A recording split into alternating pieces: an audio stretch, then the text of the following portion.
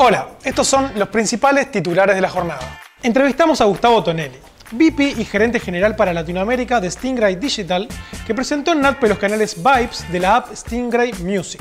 Son más de 1.200 canales curados por programadores de todo el mundo. Carlos Escobedo es promovido a Country Manager de A&E OLED Servicios. El ejecutivo supervisará el desarrollo e implementación de las estrategias de contenido, operaciones, mercadeo y producción en el mercado mexicano.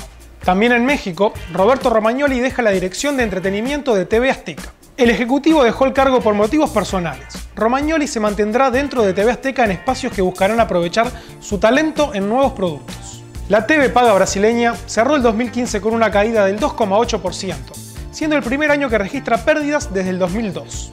Este domingo se produjo en Buenos Aires un incendio que afectó los estudios de Canal 13 y Todo Noticias. El incendio, producido en el sector de utilería de Canal 13 y TN de Argentina, dejó momentáneamente sin señal a los canales del grupo Clarín. Las llamas fueron controladas y por suerte no hubo que lamentar heridos de gravedad. Por estas y otras noticias, visitanos en todotvnews.com.